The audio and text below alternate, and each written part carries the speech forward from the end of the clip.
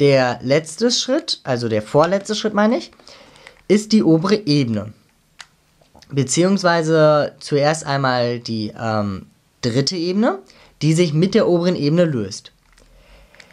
Als erstes ähm, würde ich hier gucken und sehe, ich muss ganz schön viel jumbeln.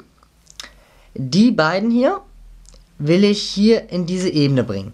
Wenn ich den Orangen runterdrehe, passiert es, dass sich die gegeneinander austauschen. Einer ist also falsch. Was ich also mache ist, ich werde den hier jumbeln. Um die beiden hier, diesen Orangen und diesen Gelben zu tauschen, müssen wir zuerst einmal rechts drehen, links drehen und nun haben wir die hier gegenüber.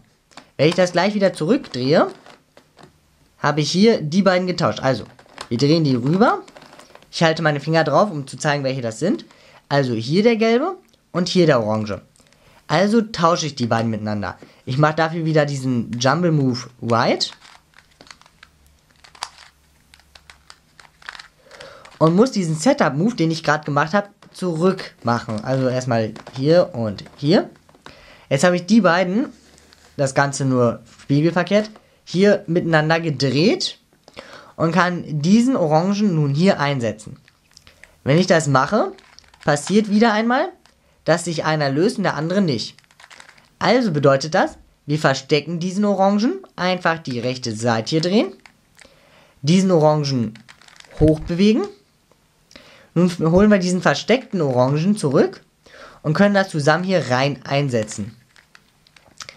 Wieder einmal interessiert uns diese Orientierung dieser Mittelkappen nicht. Die ist komplett egal. Okay. Nun wollen wir einfach mal hier rot lösen. Wir sehen wieder einmal, die beiden roten sind in demselben Orbit. Und das nützt uns nicht viel. Was wir machen ist, wir tauschen die beiden hier miteinander.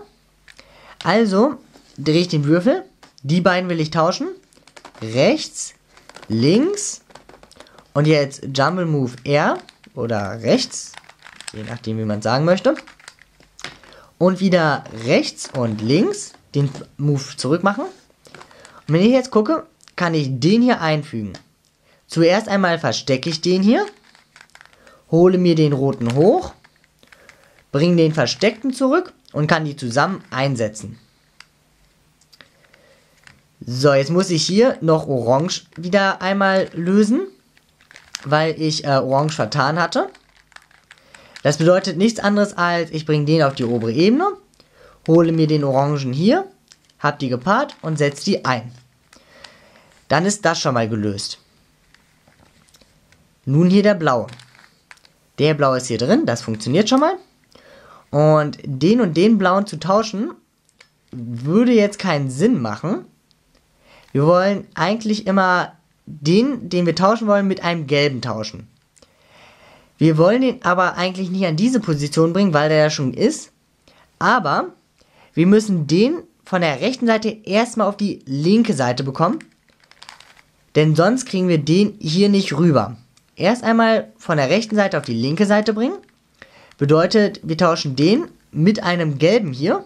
Das heißt, wir holen uns den gelben hier runter würden die beiden jetzt tauschen, also Jumble Move rechts.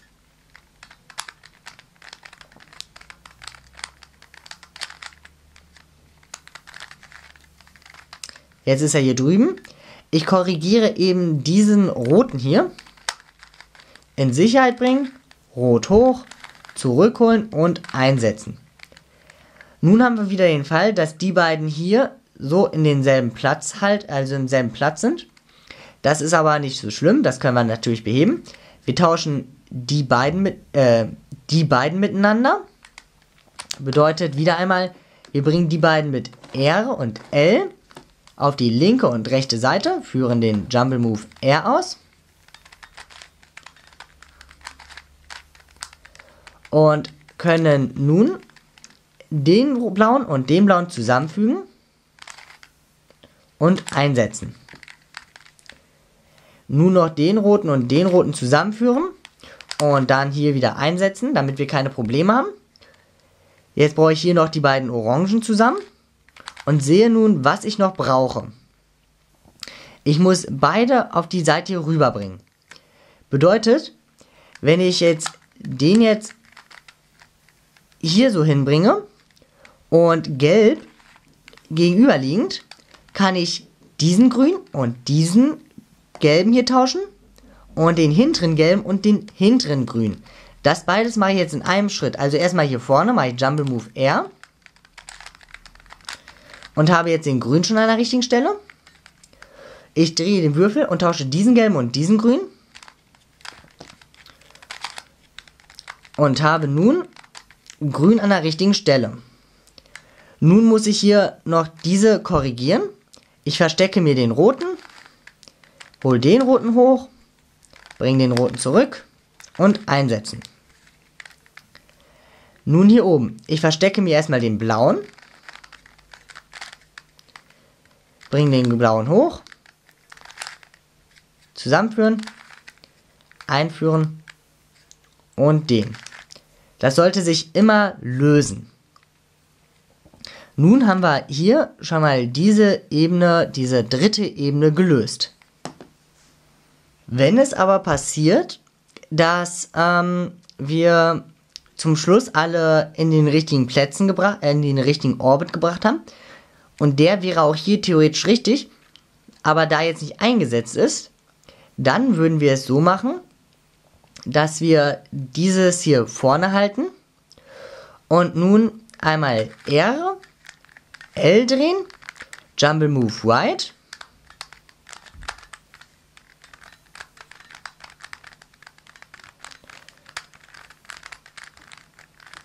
Okay, jetzt will er gerade. So, jetzt aber. Und jetzt wieder R und L. Und jetzt müssen wir eben hier das noch beseitigen, was wir hier angerichtet haben. Das heißt, ich hole mir den grün nach oben kann ich mit dem paaren, das zusammen einsetzen und nun kann ich die beiden zusammen hier einfügen und hätte auch diesen Fall gelöst. Nun kommen wir zur letzten oberen Ebene, die vierten Ebene. Und nun beheben wir erst einmal diese Centersteine. Um so einen Centerstein zu drehen, machen wir folgenden Algorithmus. Jumble Move rechts, Jumble Move links.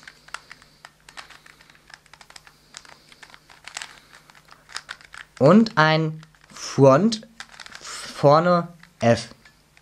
Nun ist der hier richtig drin. Nur noch den hier. Jumble Move Right. Jumble Move Left, links.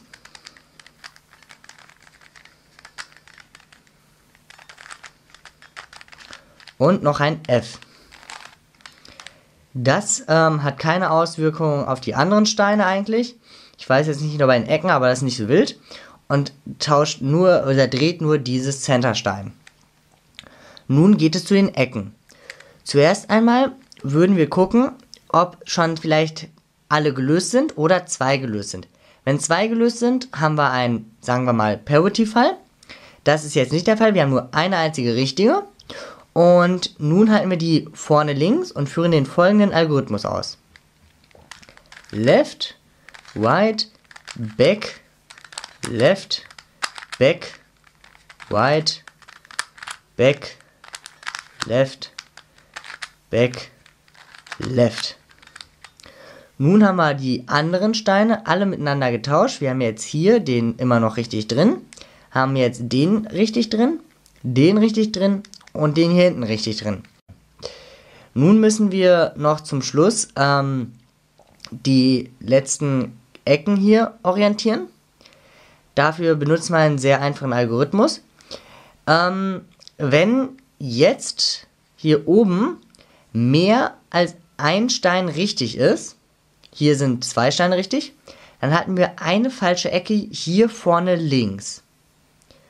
Und nun führen wir den folgenden Algorithmus aus. Das ist eigentlich ganz simpel. F, R, B, L. F, R, B, L. Und das machen wir so lange, bis gelb nach oben zeigt.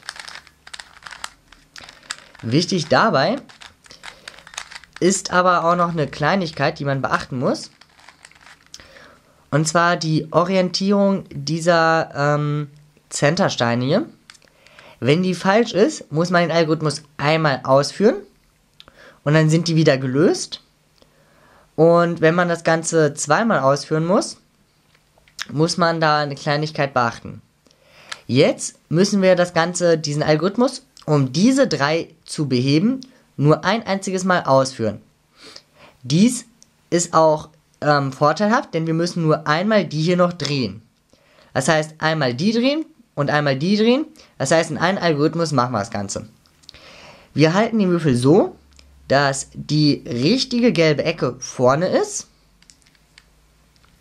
Und wenn wir es einmal drehen müssen, zeigt der gelbe zu uns.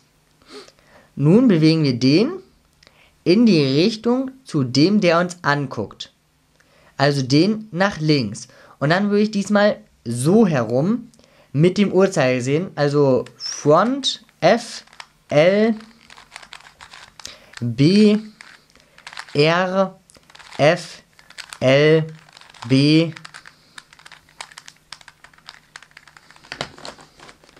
B, R, F, L, B, R.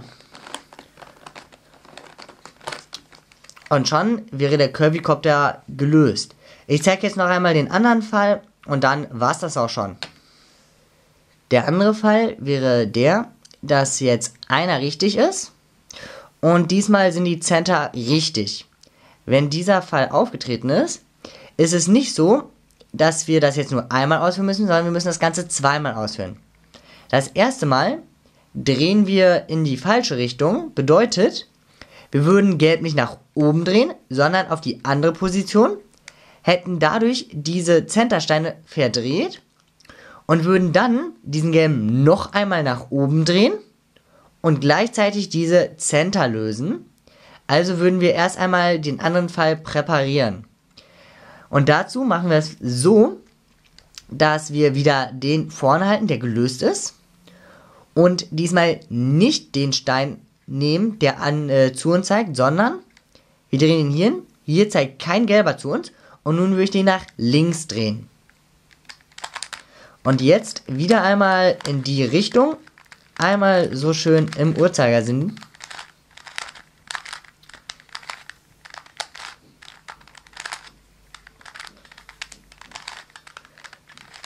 Und nun haben wir den Fall von gerade, dass einer gelöst ist, der gelbe zu uns zeigt und dass diese Centersteine falsch orientiert sind. Und wenn ich ihn jetzt nochmal in die Richtung drehe, wie ich das vorhin schon gesagt hatte, der zeigt zu uns, die sind falsch, dann so herum, würde sich der komplette Würfel lösen.